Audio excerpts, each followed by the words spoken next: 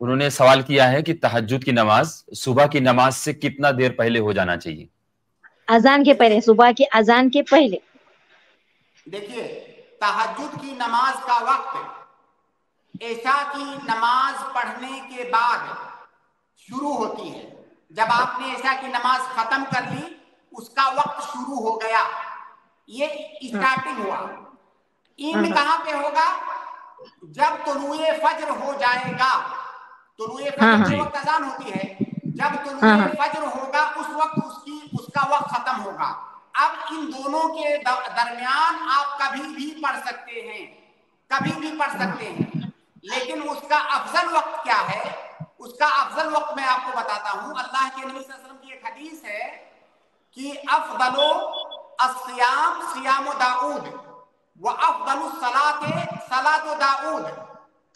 की सबसे बेहतरीन नकली रोजा सौम दाऊदी है। सौम दाऊदी ऐसे होता है कि आप एक दिन रोजा रखें एक दिन छोड़ें। ये पहले भी ये बात आ चुकी है। और सबसे बेहतरीन नकली नमाज़ आ, जो है वो रात की नमाज़ सलाते दाऊदी है। हाँ। उसका तरीका क्या है?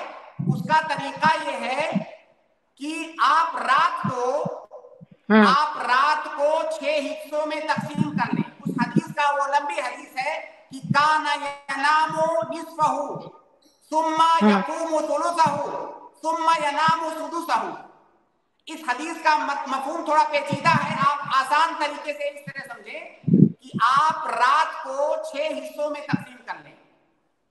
हाँ, छह हाँ। हिस्सों में तकसीम करने के बाद जो पहला तीन हिस्सा है उसमें आप सोए। यानी आधी रात तक सोए। पहला हाँ, तीन हिस्सा है उसमें सोए। उसके बाद जो चौथा और पांचवा हिस्सा है रात का उसमें आप हाँ। नमाज़ पढ़ें तहजुद फिर जो छठा हिस्सा है उसमें आप सोए। ये अफजल तरीका है वरना जायज़ तरीका ये है कि आप ईशा की नमाज़ से लेकर के तुरुए फजर तक कभी भी तहजद की नमाज़ पढ़ सकते हैं जायज़ है। लेकिन अफजल वक्त ये है जो मैंने अभी बताया। हाँ हाँ। हाँ हाँ शुक्रिया शुक्रिया, बहुत शुक्रिया। खैर, उम्मीद है मैं के सवाल का जवाब हो गया होगा।